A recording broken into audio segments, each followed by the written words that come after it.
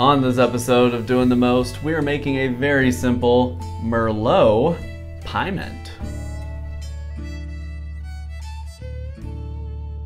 Homemade brews and various how-tos, everything from meat to roast. Big creation, fermentation, inebriation, doing the most. I've made a handful of Merlot wine kits over the years, and I've attempted a couple of Merlot pyments. One was, you know, a Merlot pyment, a Merlot base with some honey, and then the other was a blend of a Merlot that stalled, so it was very sweet, blended with a mead to kind of make a blended pyment. Neither did I love, and I haven't really had great success with Merlot kits over the years anyway. Often they stall, but I really wanted to go back to the drawing board, particularly because I've a little bit written this off in our Discord server when folks have asked about it. I wanted to go back and revisit the concept and come up with something that worked. But I also wanted it to be something that was a little bit self-balancing and totally simple. The real key to this recipe is using a light-bodied wine kit. That is a wine intended to be brewed to five or six gallons in around the 7% alcohol range. That's because we're gonna add enough honey to this that it's gonna bump it up past 11 or 12% alcohol into the more standard strength range. Using a lighter body kit allows us the cushion, the flexibility to bolster the honey profile in a really strong way and achieve something that complements the grape juice but also still smacks of honey, which is what you want in a mead. Another great thing about using a wine kit for something like this is they are typically pretty well self-balanced. Now, you may find yourself wanting to adjust the acid or the tannin profile a little bit, maybe use some oak to add some more and more interesting tannin to it. But I tend to find that wine kits generally for the average palate are pretty okay in the balance department. In my recipe testing, another thing that was really clutch was mixing honeys. So in this recipe, we use a lot of orange blossom honey and a little bit of buckwheat honey to give you two very polar opposite honey profiles that both play nicely with the Merlot grape. And finally, usually a Merlot is gonna end up pretty much on the dry side, but really to bring some of that honey character back, it needs some back sweetening. And we're doing not a super heavy-handed back sweetening, it's only moderate just to take it a little bit past off dry. And for that, one pound of orange blossom honey works pretty well. So all that said, let's take a look at our recipe. The ingredients for our punchy purple Merlot pyment are a Merlot base from a 6 gallon light body wine kit, 4 pounds of good orange blossom honey, 2 pounds of delicious buckwheat honey, and spring water to 5 gallons. We will be using RC212 red wine yeast for this recipe. For back sweetening, I added 1 pound of orange blossom honey.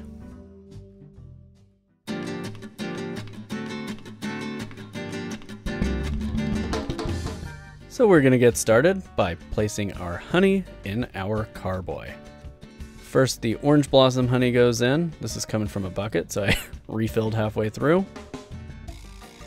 And then our buckwheat honey goes in. And I get my buckwheat honey from Mill Creek Honey. This is not a paid endorsement. They just have really, really excellent buckwheat honey. Highly, highly recommend it. Buckwheat honey goes right in on top of all that. And this stuff is pretty dense. It's probably thicker than the honey that you're used to. It's got a real molasses kind of character to it. Very, very rich honey. The kit I'm using for today's episode came from Wine Lovers USA. This isn't a paid endorsement, but they do sell light body wine kits, so they're kind of easy to find and affordable there. But you can find wine kits on basically all the major online retailers, but of course, if you can, buy local and support your local homebrewing store. And it's time to unbox our Merlot kit. Inside we've got all sorts of goodies including a big old bag of Merlot juice concentrate. This is obviously evaporated down to reduce it for packaging. We're going to rehydrate it by adding that spring water. So let's take a look at what came with this kit. Oak chips, clarifying agents called chitosan and kieselsol, stabilizers, potassium sorbate and potassium sulfite, and bentonite, a clarifier that's made out of clay. It also came with this nondescript wine yeast, which we're going to sub in for RC212. That should give us some better color retention and help retain some of those big, bold, fruity wine flavors. So that Merlot base goes right into the funnel. And be very careful when you're pouring these because if this gets on stuff, like that white t-shirt that I'm wearing, it can stain pretty bad. Think about wine stains, but a little bit more concentrated. Be careful, be cautious. And we're gonna go ahead and throw in that bentonite. I don't really ever use bentonite as a clarifier, but I figured while I have it on hand, I might as well yeet it in there and let it do some work in primary. Really important to winemaking is having a good mineral balance in your water because you're not working with straight grape juice here pressed fresh out of wine country. You're working with a concentrate that you end up rehydrating to get up to your fermentation volume. And the water that you choose for that is important. You wouldn't want to use chlorinated water, you wouldn't want to use distilled water, and probably you wouldn't want to use tap water.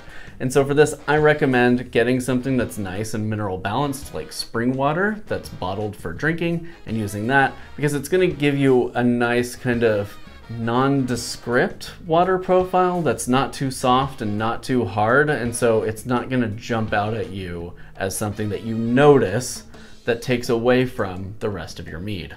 Once all our water's in there, we'll get it stir, stir, stirred right up, and then clean up. We're gonna use some of this stuff, but we wanna keep all of this stuff. And I really feel like the best way to keep all the wine kit stuff together is to throw it into a zipper bag like this one and just rubber band it around the neck of your carboy. That way it just kind of rides out all of fermentation hanging out next to your wine or your mead, and that way you don't lose it.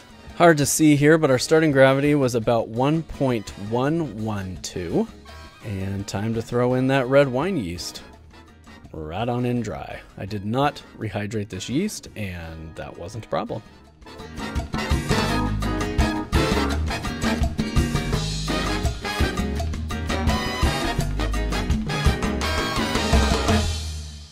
I am following a TOSNA 2.0 nutrient schedule that is an all Fermaid O nutrient schedule in four staggered nutrient additions starting after the first 24 hours. Now, I'm wearing this shirt today because I wanted an important reminder that a staggered nutrient schedule is crucial to achieving a good product with this recipe. Wine kits do have a tendency to stall sometimes because grape juice doesn't necessarily have enough nutrient to get you over the finish line of fermentation. Add to this the complicating factor that we're adding honey, which has no natural yeast nutrient in it, and you're creating a recipe for a stall. So make sure that you calculate your nutrients by using a nutrient calculator. I recommend the Batch Builder calculator because it's simple and do a staggered nutrient addition schedule and do it by the schedule. Don't start too late, don't end too early. And it is very difficult to see our final gravity here, but it is basically 1.001, right around 1.000, but totally dry. No sweetness left in here at all and a nice thick, firm yeast cake sitting there at the bottom. So it's time to get that racked off into secondary so we can stabilize and back sweeten. Get it transferred right over, and then I'll be adding my potassium metabisulfite and potassium sorbate. So again, I didn't use the stabilizers that came with this. I mixed up my own so that way I knew I had the right amount for my batch size. Those stabilizers could be used at another time for an appropriate batch size, but I just wanted to make sure I had the right amount of stabilizers in here for my five gallon volume.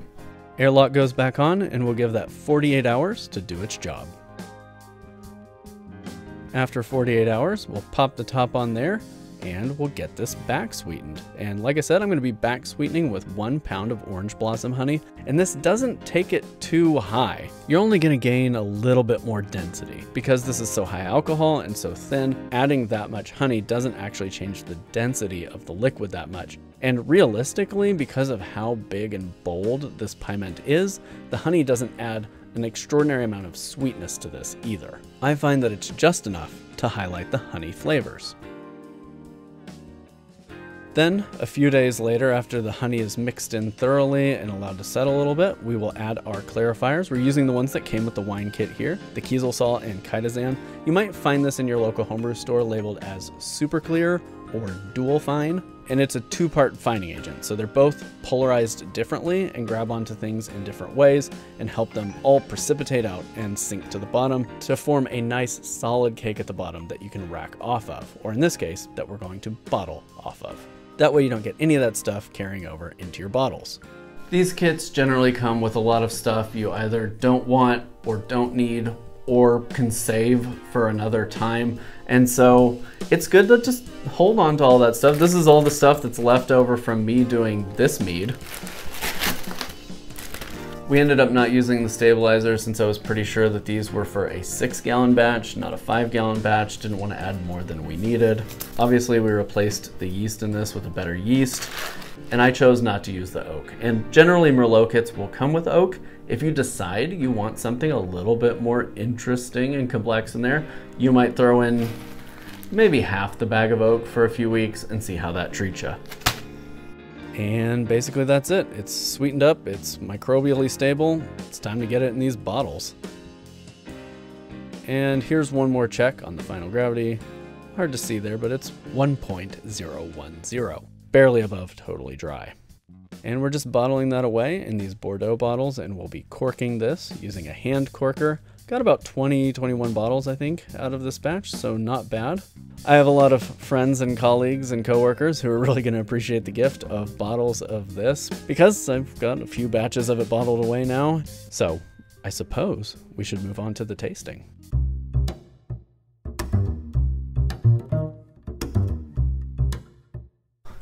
I'm wearing my jammies tonight. All right. Let's taste it. I love a really good, like, tannic, like mouth sucking tannic Merlot, which are usually pretty hard to find at Oklahoma wineries. Just big, winey, grapey, fruity essences on the nose. You can pick up just a little bit of honey there in the background, too.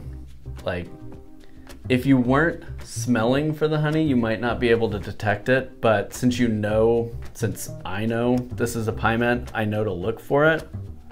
And it's just like big Merlot aromas on the front end and then honey right there at the tail end.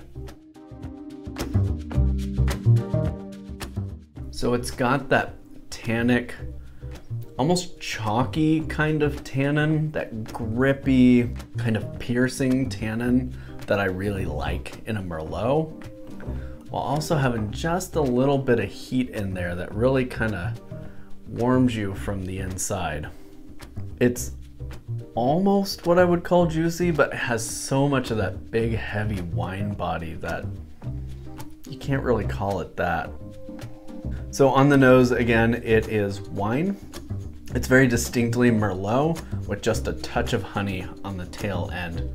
On the palate, it washes down like a Merlot, and as soon as you swallow, you get those pungent points of buckwheat honey sticking up through the middle of your tongue, and then as you exhale, that rich orange blossom zing kind of just kind of waves over your palate.